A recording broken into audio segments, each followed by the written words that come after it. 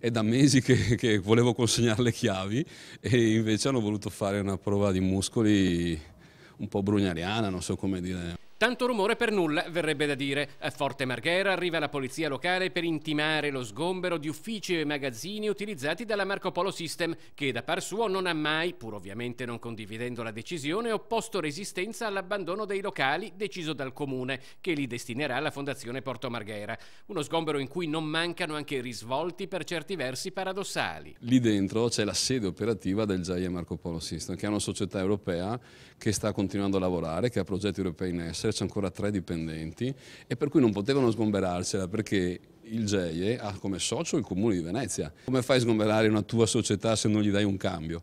E adesso cosa succede? Si sono resi conto che sgomberare quei locali a mano armata non si può, diciamo, perché è pieno di roba, c'è un sacco di cose. Per cui mi hanno lasciato le chiavi fino a altri dieci giorni, finché verranno, diciamo così, a prendere possesso. E mentre la sede della società, che è obbligato il comune a darcela, ce la terremo condividendola, cosa, già proposta da noi con la Fondazione Forte Marghera, la dividiamo da buoni fratelli e amici, la dividiamo e noi staremo lì fino al 30 giugno dell'anno prossimo.